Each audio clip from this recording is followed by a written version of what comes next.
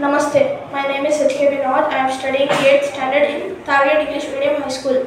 My project name is GSLV. GSLV means Geo Synchronous Satellite Launch Vehicle. is a satellite launch vehicle designed, developed and operated by Indian Space Research Organization ISRO to launch satellite and other space objects into the geosynchronous transfer orbits. The GSLV uses four liquid strap-on motors.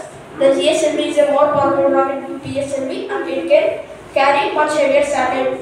The GSLV is located in Satish Dhawan Space Center in Sriharikota near Chennai.